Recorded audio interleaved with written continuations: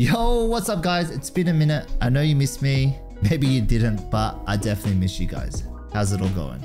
I'm here to announce today, Andos Gaming, my channel, will no longer be making Warzone content. I know it's sad, but it's going to be okay. I hope. I'm not sure. I started Andos Gaming about two years ago and we gained over 40,000 subscribers just by making Warzone tips and tricks videos. So before we continue, I just want to say thank you for all the support you guys have provided so far. We really have built a really nice, cool community. Thank you guys from the bottom of my heart. I appreciate everything. So here are some of the reasons why I am quitting Warzone. The original game is basically dead and Warzone 2 is just not my cup of tea. Like as a result of that, you probably noticed the channel's been pretty dead the last couple months and I've been MIA. I've been enjoying my life outside of content. Yes, I do have a life outside of the internet, I think. But yeah, this is my hot take and you're probably going to disagree with me. Warzone 2 is not that good in my opinion. Cancel me just yeah that's just my opinion guys. I just enjoyed warzone 1 a lot better. I preferred the pacing the movement the gun mechanics the maps and just the game in general. Don't get me wrong i did give warzone 2 a chance. I was actually really looking forward to the new iteration but i felt like it was a step back from the original warzone. The looting the loadout system the gulag the ai it's just yeah it just wasn't for me. We didn't really click if you know what i mean let me know what you guys think in the comment section. Is Warzone 1 better or is Warzone 2 better? Please argue amongst yourselves. So back on the subject, when I generally do something, I always want to be the best. I'm always super competitive and I just don't see myself grinding Warzone 2. It's just not a game for me. I miss the B-hops, the slide cancels, and just the mechanics of the original game.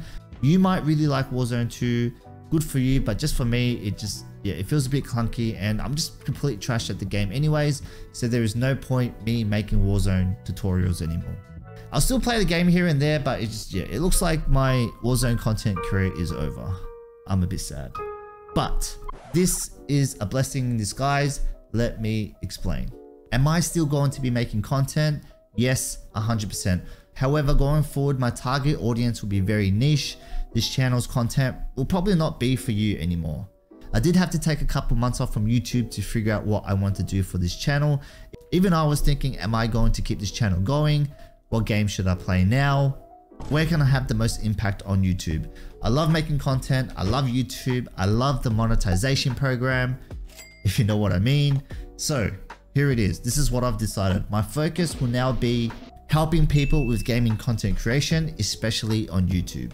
The mission now for Andos Gaming is to help people grow their gaming channels. Essentially, I'll be making tips and tricks videos on how to grow your gaming channel on YouTube. This can be like how to post videos correctly, how to edit videos, how to make thumbnails, and so on. So yeah, that's my direction for the next couple years, and we'll see what happens next. I do think sometimes, is this really the right move for Andos Gaming? Let's wait and see. Having a successful gaming channel made me extremely fulfilled. It gave me a reason to wake up early, stay up late at night, just working on my videos. I remember trying to grow this channel from 0 to 40,000 subscribers. It was extremely difficult. A lot of mistakes were made. There were a lot of tears. But in the end, it was worth it, I think. There wasn't a lot of information catered towards gaming YouTube channels. It was all just really generic stuff more catered towards the general public. And us gamers, we are just different. I am different. I had to do heaps of research across multiple sources on strategies, production, editing, audio settings, the YouTube algorithm, short form content, how to do thumbnails and everything else beneath the sun. So yeah, that's what I'm going to do next. Hopefully I can provide some value for gaming content creators on this platform. My videos will be catered towards people who want to start gaming channels. So if that is you, please stick around. I know this will be very niche, so this channel may not be relevant to you anymore. I'm not oblivious to that fact. I just want to say thank you who supported me so far. It really has been a journey and this is the next chapter for Andos Gaming. Getting to 40k subs, making Call of Duty tips and tricks videos have been super fun. To be honest, I kind of sucked at the game as well. You gotta fake it till you make it, right? Eventually, I did get pretty decent at the game.